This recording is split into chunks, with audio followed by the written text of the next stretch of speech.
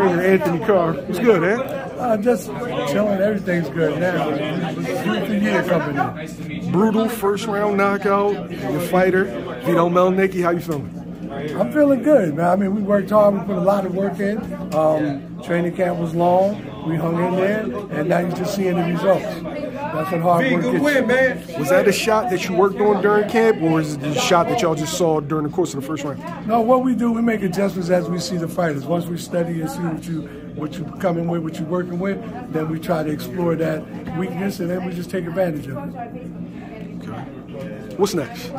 because two back-to-back first round knockouts. It was supposed to be, you know, sturdy opponents that's supposed to give him rounds. Well, everything's supposed to be. It ain't what you see. You know, everything's supposed to be this, supposed to be that. But if your preparation is on point, then you'll overcome all. And you'll be able to do what you got to do. I mean, I think younger fighters need to learn his work ethic. He puts in the work, and he's getting the results of the work that he's putting in. He do not sleep. He do not play games. He don't play boxing. He do boxing.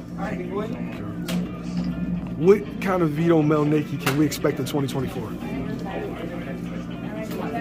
I expect to see in 2024 um, a young man that grows into his own, to his own and getting even better. I think he'll be a much better fighter, much stronger, and um, much more relaxed. And it's just going to get it's going to get harder for people to try to deal with.